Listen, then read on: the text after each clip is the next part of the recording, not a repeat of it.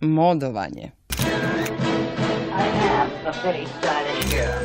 Stvarno nemam šta da obučem. Boje i koloriti vune.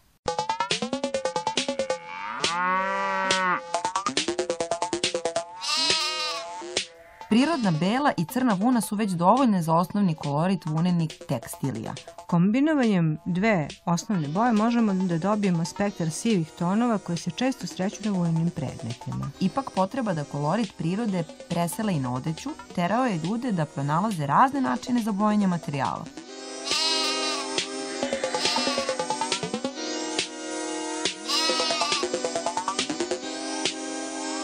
Vuna je zahvalan materijal koji se može bojiti prirodnim veštačkim bojama. Nekada su naravno bile dostupne samo prirodne boje uglavnom biljnog porekla. Korišćene su Ljuske crnog luka, kora crnog jasena, cvet kadife, cvekla, kopriva, list crnog duda, aptovina, lišće i kora mladih oraha, komina od šljiva u kojoj se pekla rakija, stabljike paprike i paradajza, lišće duvana i lipe.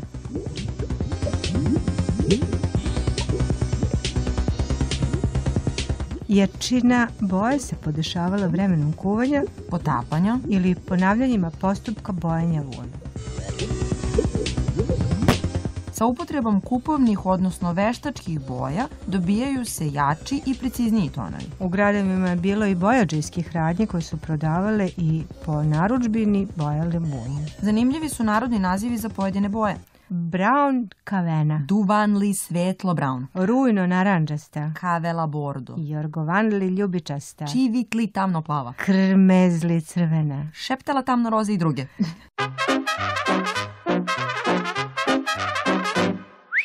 A zamislite da današnjoj modernoj devojci ponudite krmezli džemper Ili čivitli šal kao i nekadašnjoj devojci teget jelek. ili bordo suknju. Ajde, Vesna, test. Ponudi mi. No, ne moram da ti nudim. Znam, ne moram da ti nudim. Iste boje, Drugo vreme. određene boje su korišćene za vunu od koje se tkalo pokućstvo Sukno. ili za pletenu odeću. Tako je sukno najčešće bojano u brown i crnu, Vuna za odeću u brown, crnu plavu, i bordo boju. a vuna za tkanje ćilima u crvenu.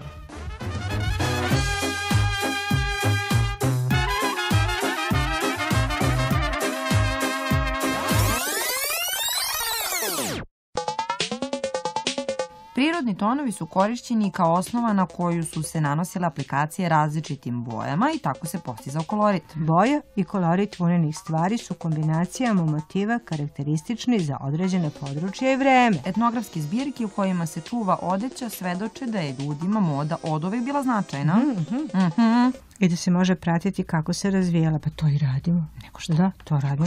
Modovanje, modovanje. Modovanje. A boje kao i trendovi nude nove kolorite. Zato ove zime Čini mi se da nam svima treba po neki kavela šal oko vrata. može. Može, može. Hilandarska 2.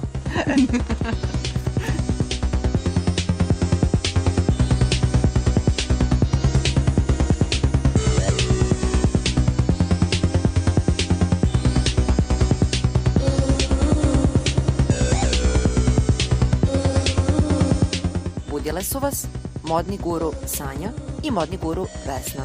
Tekst Magistar Jelena Toskić, viši kustus, aha, Sirogojno. Sirogojno.